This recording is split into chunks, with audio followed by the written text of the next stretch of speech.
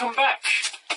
And now we will have a talk with an exclusive guest who has been lost from time.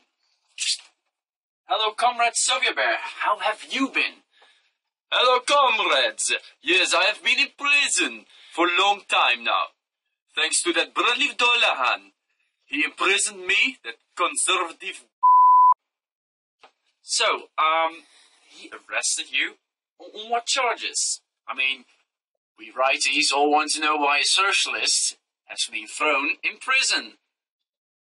Well, first, you are a liberal conservative.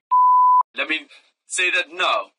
But he has charged me of being a dictatorous fascist who wishes to overthrow His Majesty, the fake king of Wyvern. I want Soviet Wyvern, and that was, well, how do you say in English? Not as he wished it to be. Wow. Just wow. Well, comrade, we will talk to you later about this. Have fun in prison. Well, I hope you rot in hell, you capitalist pig. Yeah, well, you too. Well, that was our socialist pal rotting away in prison on our expenses. Yippee, even in prison they suck on our tax money. We will be right back after this.